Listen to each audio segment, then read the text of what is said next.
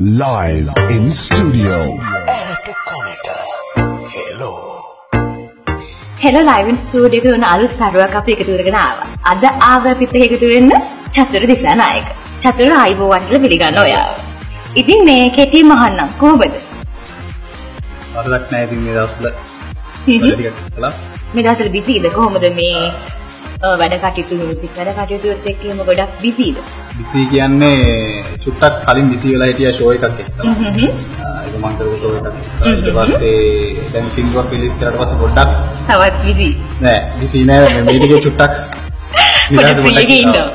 හරි දැන් මේ මියුසික් ඔයා ඉස්කෝලේ විෂයක් විතර හදාරුවාද නැත්නම් කොහොමද මේ සංගීතය කියන මේ ශාස්ත්‍රයට ආ ඇත්තටම මම චූටි කාලේ මම සංගීත කියන එක හදාගන්න. ඒකට පාසල් කාලේ විෂයක් විදිහට මම සංගීතය කරා. සමුද්‍ර වංශාර දක්වා ඉගෙනගෙන තියෙනවා. විශාරද බාර් කාණ්ඩ එක්සෑම්. ඉගෙනගෙන තියෙනවා. ඉතින් එහෙම ආපු ගමනක් තමයි මේක. ඔව් එතකොට මේ ගායනය විතරක් නෙමෙයි මේ හැකියාවන් ගොඩක් තියෙන තමයි චතුර කියන්නේ. ගායනය විතරක් නෙමෙයි. රංගනයටත් හැකියාවන් තියෙනවා. ඒ ගැන කොහොමද කතා කරන්නේ අපි? රංගනයට මම යොමු වෙන්නේ මගේ යාළුවෙක්.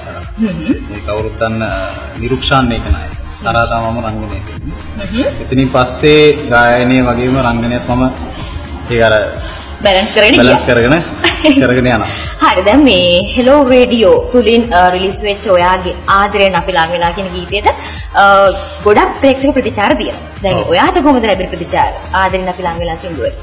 ප්‍රතිචාර හොඳයි. ආ, ප්‍රතිචාරත් එක්කම ඉස්සරහට මම මියුසික් වීඩියෝ එකක් කියන්නේ වීඩියෝ එකත් එක්කම හෙලෝ රෙඩි කරා දෙන්න ලෑස්තිලා ඉන්නවා.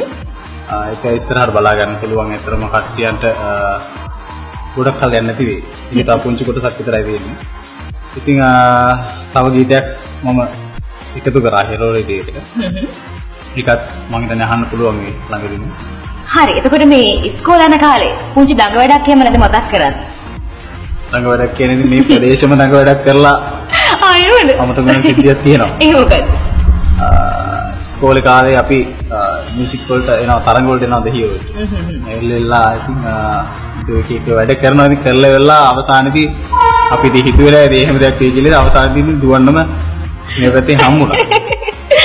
හරි. දැන් මේ ආදරෙන් අපි ළඟලා කියන සින්දුව ඔයාගේ අත්දැකීමක්ද නැත්නම් වෙන කාගේ අත්දැකීමක්ද කොහොමද මේ සින්දුව මේ විදිහට අපි මෙහෙම කරමු කියලා අයිඩියා එක ආවේ?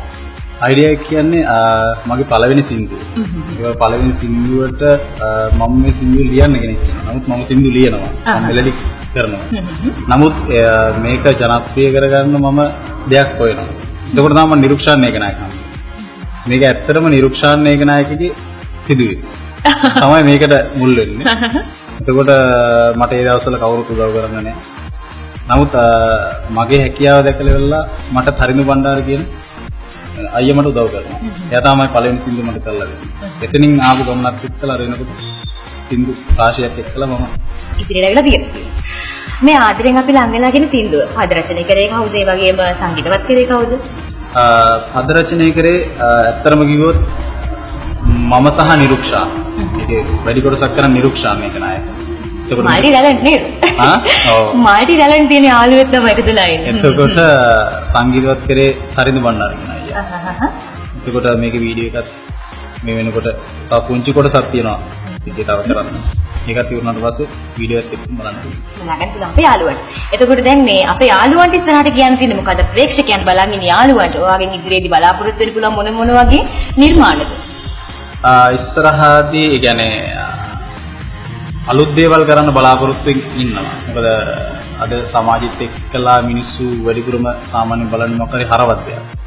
එතකොට ඉස්සරහට කෙනෙක්ට දැනෙන්න මොකක් හරි හොඳ දෙයක් දෙන්න සමාජෙට මොකක් හරි පණිවිඩයක් දෙන්න හොඳ දෙයක් දෙන්න හොඳ නිර්මාණ කරන්න බලාපොරොත්තු.